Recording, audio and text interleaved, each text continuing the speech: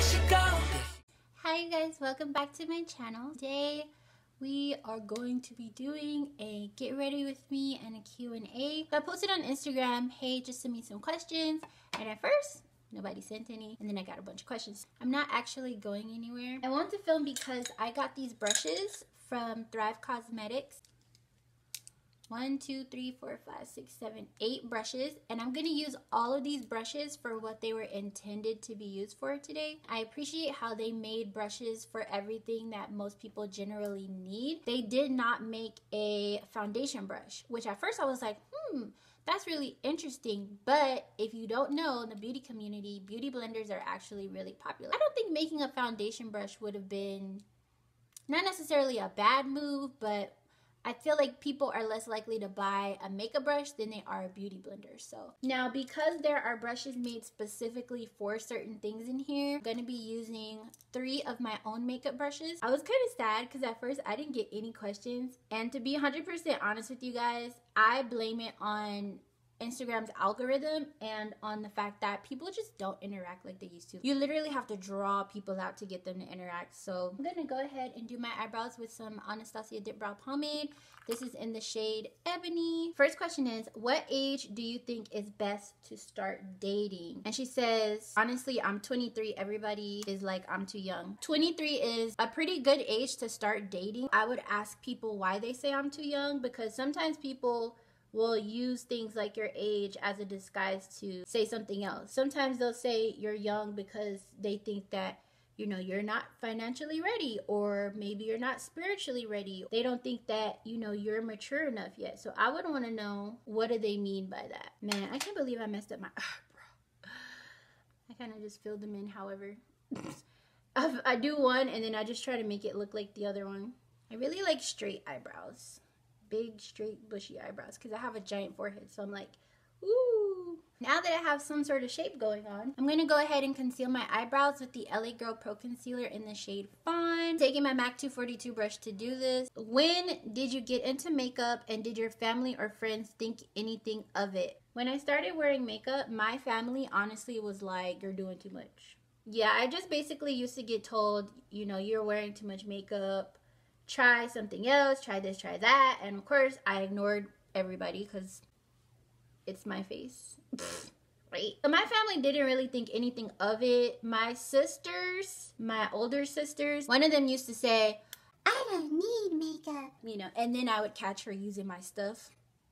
My other older sister, she she never was opposed to it. She always wanted me to kind of just pursue whatever it is that I wanted to do and make sure that I did my best at it. Of course, practice on her because she likes getting glammed up. Uh, my friends, to be honest with you, I didn't really have friends when I first started wearing makeup yeah, my family was, they were supportive. Nobody shot me down or told me I was, you know, dumb or stupid or whatever. When it came to my makeup career, the only thing that I got spoken to about was making sure that I put Jehovah first. Never want to forget about God when it comes to your blessings because my talents, my skills, anything that I can do is is not because of me, it's because of him and the fact that he created me. So without that, I would literally be nothing. Any funny makeup stories growing up? When I began experimenting, I started with eyeliner. Bad idea.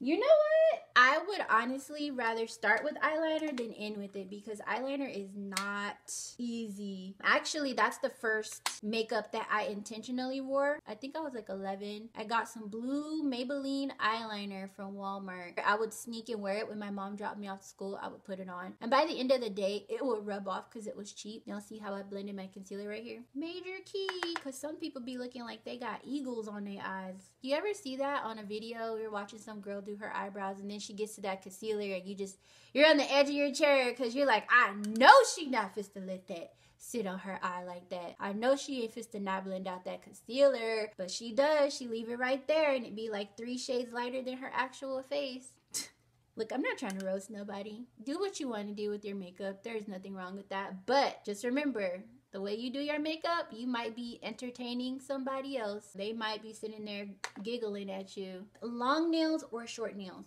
long nails. I kind of feel like if I'm gonna get my nails done and I'm gonna pay XYZ amount, I'm gonna get as much as I can. And I just love the feeling. It makes me feel like a feline, like feminine. Now I don't get them super long like some people. Like I still need to be able to wipe my butt. So long nails. You know what? I'm gonna match my shirt today. That's what I'm gonna do. I'm gonna work with with these colors. I'm gonna go into Anastasia eyeshadow in the color Fawn. It is a warm taupe. If you could come up with your own beauty makeup line, what would it be? I've never thought about that. And the reason why is because I am lazy. I'm one of those people who gets an idea and they're like, somebody should do that. I'm somebody who will intentionally put an idea out into the air on Instagram, on Twitter, or tell my manager an idea so that they can do it and not me. I don't really care for the credit, you know, but if I had to make a beauty line, multi-purpose pressed pigments and skincare, that's what I would focus on. Super simplified, easy skincare, stuff that works, that doesn't have a lot of ingredients and doesn't require a million steps because people are lazy, you know, and people like the easy way to get things done, which I do too. And with the pigments, they would be pressed. Um, I probably would do some loose ones too for the loosey gooseys, but they would be pressed pigments that you can use on your eyes or on your face or on your body. But that's what I would do because I feel like people want to know that the eyeshadows that they're using are going to be pretty. People want to know that the pigments that they're using are going to stay on. You want pigmentation, you want clean formula. I would just do that. But again, I'm lazy. So somebody somebody do that. Somebody get to that. three things you dislike about the makeup community and three things you like. Ooh. Ooh. People, y'all trying to start drama. The competitive spirit. I do not like that at all. It just causes so much drama and dysfunction. The people who are on top, because the, I mean, it is what it is. There are people on top of this this game here. The people on top have a tendency to make people who, you know, aren't up there with them or anywhere near where they are feel like they're lesser than. I just don't like when beauty influencers make people who want to be wherever they're going feel like they're lesser than and don't necessarily acknowledge them unless they're kissing their butt. I don't like the lack of diversity. Not only because of the skin tone, but also popularity. There's lack of diversity in that companies don't want to share your work if you aren't popular because they don't feel like you're getting people to buy their products. But the reality is is it's the people who have nothing who talk to other people. Some lady on Instagram might have a million subscribers and she's sitting there telling me, I love this brush. This brush is so great. You should totally get this brush. And I'm gonna be like, eh, whatever. I'm not gonna get the brush because it's like, you know, you're always promoting something, you're always doing something, you know, you're popular, this is what you do. Companies forget that smaller platforms matter too because those people have a tendency to be closer to their followers, their subscribers. Three things I do like about the beauty community. I like how people with smaller platforms have a tendency to come together. I like how people with smaller platforms have a tendency to want to teach more, get into detail. And also, I like my followers and my subscribers, but I like the people who socialize and interact with me on my platform. The people who do interact with me make me feel good about creating content. They make me get excited. So I'm going to go into this NYX Ultimate Shadow Palette. And I'm using this blending brush because the brush that I got in my Thrive Causemetics brush set is a eyeshadow crease brush. And as you can see, there is a major difference. This one is tapered, so it's meant to do detailing work. And that's what I'm going to use that for when I get to my crease. I saw one of your videos that you applied hair gel afterwards, and I would like to know why you did that. Also, how can I get matte eyebrows on a budget? Two of my friends that work for MAC told me to use uh, Eco Styler gel on my eyebrows if I want the hairs to stand up. And that is specifically what I was trying to do. I wanted my eyebrow hairs to stand up. I wanted them to be fleeky. And I wanted it to look like I got all this hair when I really don't. So that's why I did that. And then on a budget to have matte eyebrows, the first thing you want to do is is get a waterproof product. Waterproof products generally have more wax in them. They stick more and they also have a tendency to be matte. If you can afford it, I would suggest getting a pomade because pomades they're creams, but they dry and they're matte, like my eyebrows are matte.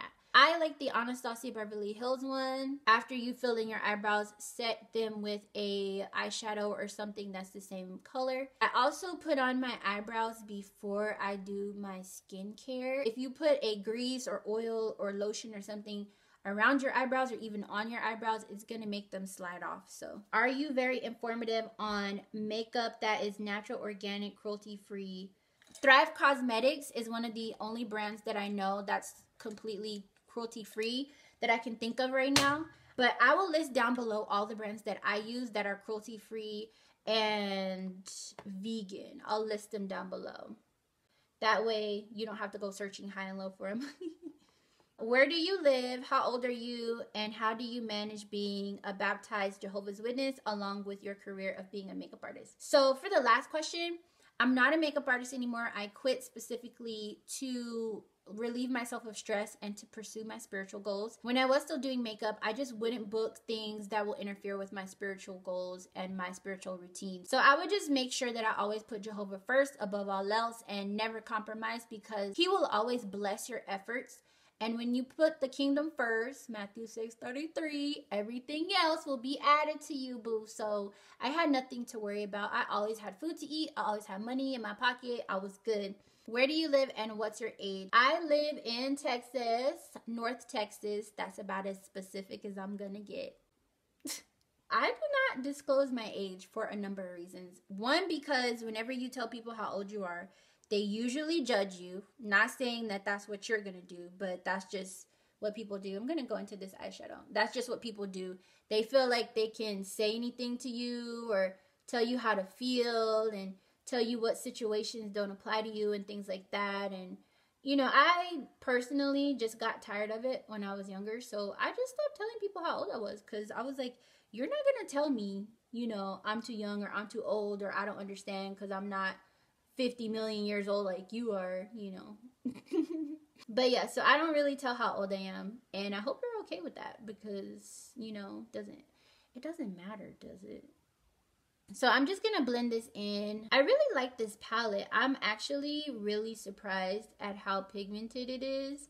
And I find that with colors like this, the shimmery ones usually work way better. So turn up. What's your favorite fast food place? My favorite fast food place is it's between Taco Bell and Chick Fil A, cause them sandwiches from uh, Chick Fil A be so lit. And I only eat Taco Bell with no meat. I always order with beans instead of meat, and it just it tastes so much better, and it doesn't make your stomach hurt either. Cause you, I mean, honestly, we don't know what that meat is. It's not local. What's your favorite traditional dish? Now, when you say traditional, that's really hard for me because in my family, we're very diverse. Uh, on my father's side, my mom is from Seattle. She doesn't really know much about her background, etc., etc. So we don't have traditions other than the American ones, which you know they're not that great to be honest with you. In my family, one of my favorite traditional dishes is nachos. Black beans, I like to add seasonings that are like spicy, jalapenos, on the border chips. Gotta have the on the border chips. And I don't like to put meat in mine because I am just real suspect of meat in general. But if I do, I put ground turkey. And it be lit, bro, with all the vegetables and everything. Like, ugh, it's so good. What's your favorite Fenty product other than the Stunna lip paint? I would say the Galaxy Collection lip gloss. The one Gal on the Moon. I love that lip gloss. How old are you? No. Where do you work? I'm a receptionist for a shared officing suite. That's what I do. So I help all of these rich people and people who have more money than me, you know, handle their business, the little things that they don't really have time to do or think about. I do all that. Are you in school? If so, what are you studying? I study my eyelids, okay? I absolutely hated school. I feel like it's a scam, um, especially in America, because in America, they don't teach you anything so that you learn. They teach you so that you are able to think the way that they want you to think instead of thinking for yourself or discovering things. I feel like it's a scam. Nobody should pay a million dollars to go to school or even $20,000. Like it, it's just a big waste of time to me. And just the other day, I was telling somebody, they were like, oh, my professor didn't show up for class today. I was like, you know how mad I would be if I've been spending like thousands and thousands of dollars on school and you have the audacity not to show up and teach me, but you expect me to be here? What? And you're literally like holding my life in the palm of your hands with these stupid grades? No. I hated that. I, I felt like I had no control. I'm not studious when it comes to stuff that I don't care about. So, nope, I'm not in school. What has 2017 taught you? 2017 has taught me that people can change and then other people will not. And that's just fine because it's up to them. And at the end of the day, we're all to wind up wherever we wind up, right? I know where I'm to be. It also taught me make sure you have gas in your car. If your area runs out of gas, you are but out of luck. What are you looking forward to in 2018? I'm looking forward to new products and seeing how far Fenty Beauty goes. I'm also looking forward to adventures. I really want to travel. I'd like to go somewhere fun with Choji. I'm looking forward to seeing where my relationship goes and um, eating. That's my favorite part about different years. Like new foods come out and your girl be hungry all the time. That's what I'm looking forward to.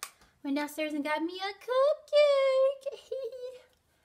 so good. I'm to go ahead and start adding in the darker blues that I have.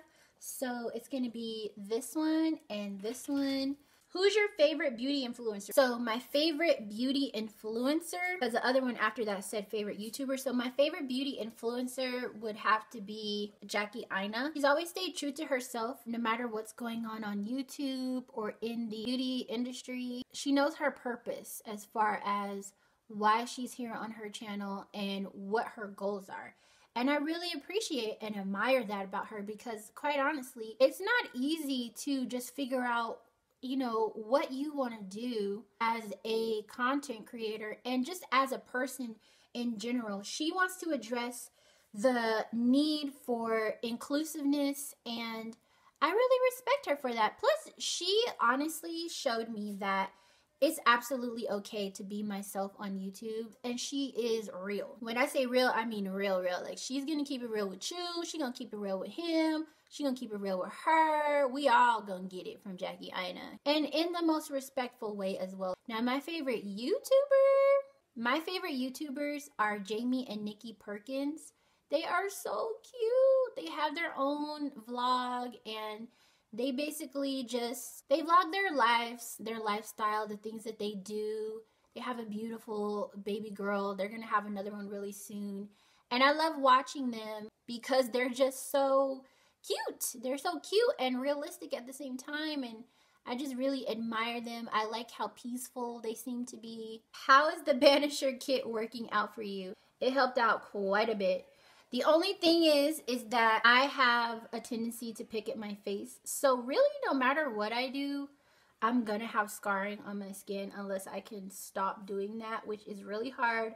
I've tried, but when you're sitting at a vanity and you're in front of a mirror and you can see your pores, you can see what's in them, it's kind of complicated, you know, and, and it especially when I get stressed out and if I'm sitting at my vanity, I just go ham on my own face and it's terrible. But yeah, the Banisher kit is amazing. If you don't have bad habits like me as far as picking goes, then it is an excellent kit for you. It works like a charm. I could swear I had more questions than that, but I guess I answered them all.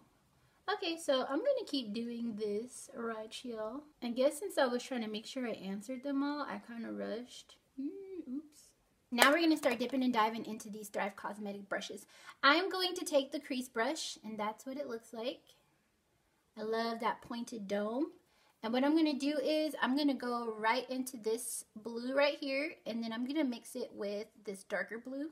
Remember when people used to do that on YouTube? They would actually mix their eyeshadows instead of just wearing like two. And I'm going to place this on the outer third of my eye. Now, mind you, this is a crease brush, so I am going to go up into my crease with this And this is just going to give me some more depth because that is what I want. I want lots and lots of depth. So for my base, I'm going to go in with this really pretty gold eyeshadow from ColourPop. It's called Thirsty Girl. This is the brush that I was supposed to be using. And I'm just going to wet it a little bit. And since these mimic real hair, it should make uh, the same effect as the other brush I was using. So here we go.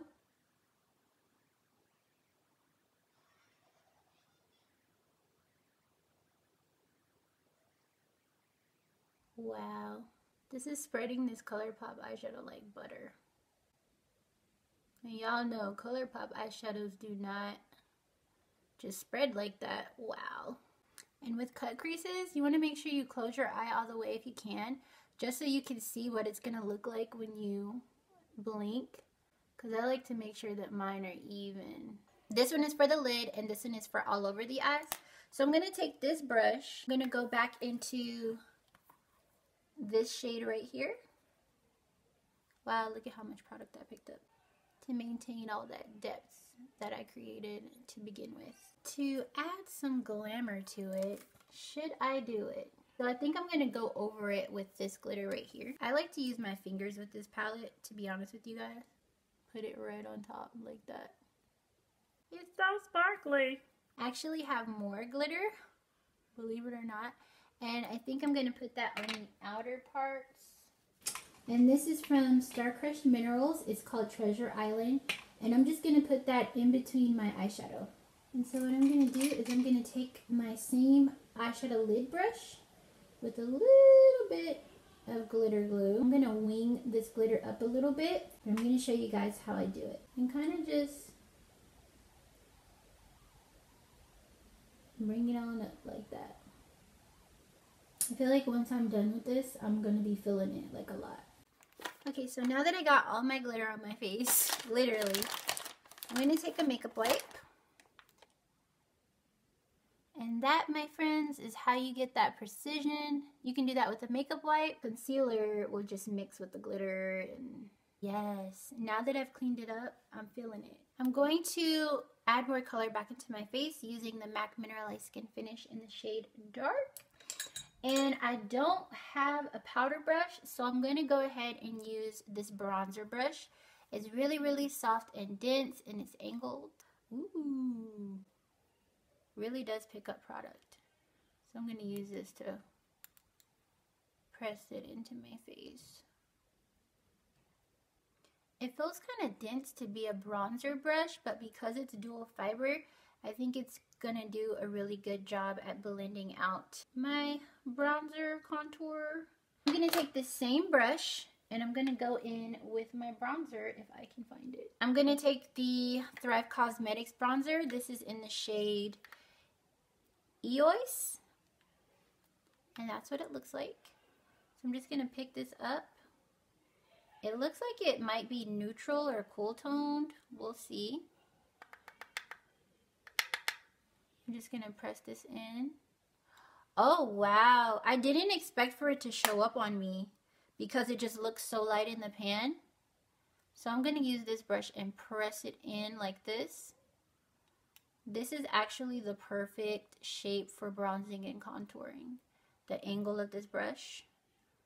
Wow, that's beautiful. Talk about my new bronzer. Turned up. I'm going to get a little bit more and do the other side. Wow. I can't believe that matches. Like it, I mean, you know, only because it just looked so like. I feel like this would be a good foundation brush too. So you might see me use this in another tutorial. It's been a while since I've used brushes, but I might use this in another tutorial for foundation. A blush brush, and this is also from Thrive. And it's shaped really similar to the bronzing brush. The blush that I'm going to be using is Angelina. It's also from Thrive, and that's what it looks like. Now, this is really, really pretty. and I'm supposing you would just... Oh, that's pygmy teeth. Oh, oh. Okay, Angelina. So I'm just going to press this in and try to blend it out. Well, they certainly are pigmented and they blend out beautifully. And if you're wondering why I'm tapping it in instead of like It's because I don't want to pick up my foundation and concealer that I worked so hard to put down. I'm going to go ahead and go in with some black eyeliner from Estee Lauder. And I'm just going to put this on my lower lash line right up in here. I'm going to go into my Inglot AMC gel eyeliner and I'm gonna risk it all. this is a fine eyeliner brush. When this eyeliner is brand new, it is so, like it is a godsend. It's so good. My eyeliner smudging brush, and I'm gonna use it specifically for that. So I'm gonna tap this blue right on top of all of that black eyeliner, and I'm gonna smudge it. I'm gonna put that blue right here. Then I'm gonna take my pencil brush from earlier and I'm just gonna bring it along the bottom. And last but not least, highlighter you guys. I'm gonna take this, this is the highlighting brush. Isn't that pretty? Oh, and I'm just gonna sweep it in here. This is a beautiful rose gold highlight. You can also use it as an eyeshadow. And I'm just going to sweep it right across my cheek. Ooh, wow, I like that. That was very easy. Okay, let's try the other side and see what happens. Woohoo! Have to be careful with that. This brush is amazing. I, I did it by accident, but jeez. this brush, me and this brush are going to be real good friends. Y'all, my camera is trying to play me right now. It keeps saying that the storage is full, and I literally took all of the video audio off of it. So I'm going to go ahead and put on my beauty mark. I'm going to go in with this Brick lip liner from Estee Lauder.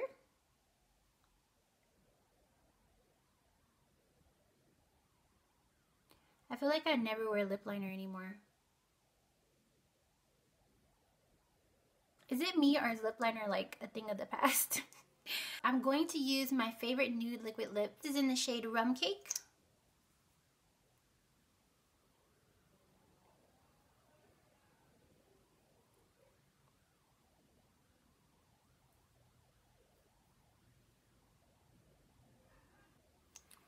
Isn't that gorgeous? Ugh. Okay, I'm going to put on some lashes. Okay, so this is the final look.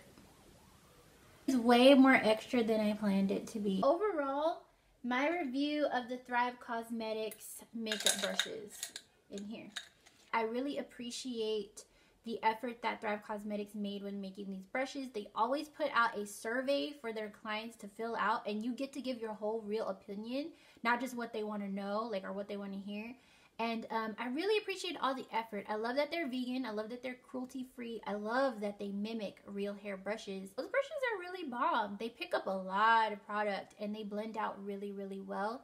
If I had to choose a favorite brush, it's going to have to be the highlighting brush because it just like it just delivered my whole entire life on my face. It just looks really wet. It's not solid on my face and I love this. If you're gonna get any brush, get the highlighting brush and get the bronzer brush and get the eyeliner brush. Those are my three favorites, but my top fave is the highlighting brush. So, if you want to check out these brushes, please check out my description box for the link down below. And thank you so much, Thrive Causemetics, for sending me these brushes. I'm so glad because your girl was wanting some new brushes, you know saying? So, came through with the come through, you know. thank you guys so much for watching this video. I hope that you all really appreciated it. I had fun filming it. Don't forget to give me a thumbs up, subscribe, and share this video with a friend. And leave me a comment down below letting me know what you want to see next. But until then, check out this fabulous video. I know you wanna watch it, cause it's right here. I know you wanna see it, click it right here. And don't forget to hit the notification bell so you get to know when my videos come up. But just go ahead and click on this one.